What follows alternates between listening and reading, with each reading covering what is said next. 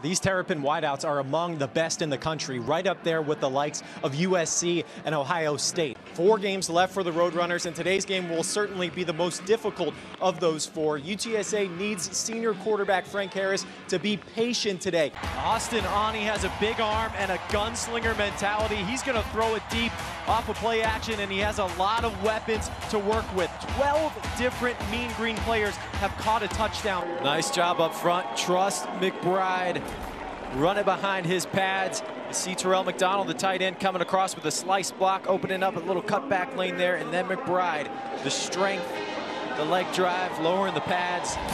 Watch the protection on this deep pass. Look at 28 in red, the running back James Charles stepping up, picking up that blitz, giving N'Kosi Perry time to let that ball go, and a very accurate throw from Perry to Jaquan Burton to put the Owls up early. How about that block from Bird, the Alabama native? That was a big hit. Look at 13 on the right side of the screen, just Oh. blowing up Jalen Key, and that gave McEachern just enough room to move the chains. What did they do well offensively, Charlotte? Early in the game, they did a good job of letting Williams get the ball out of his hands quickly. His receivers were running nice routes on quick slants, getting open, quick hitters, going tempo with the offense. If they can get back to some more of that, if Maryland's going to give it to them, the Terrapins have been trying to take it away with some press coverage.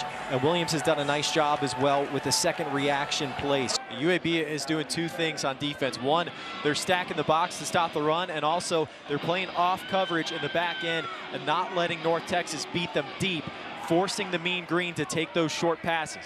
Here's Jeshaun Jones. Maryland is going to bring him in motion. No one goes with him. They know they're going to get zone.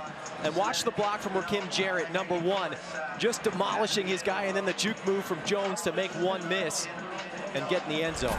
Watch Elijah Spencer come in motion and watch what that motion does to safety Grayson Cash. Watch how he has to respond to it and communicate. Spencer going in motion and then the return motion. Cash trying to communicate, get in position. He comes up to play a short pass and Spencer blows right by him for a 60-yard score. I'm guessing you think SEC West is up there too? Give me the SEC West, and I know well, Texas A&M is struggling with App State right now, so I may have to bite my tongue, but the depth of the SEC West, I think if you, you go all the way top to bottom, who's the worst team in the SEC Might be West? LSU. It's Yeah, right. It might be LSU. It's either Auburn, Mississippi State, or LSU, and I think those three teams are better any day that, than, say, Rutgers or Indiana at the bottom of the Big Ten East.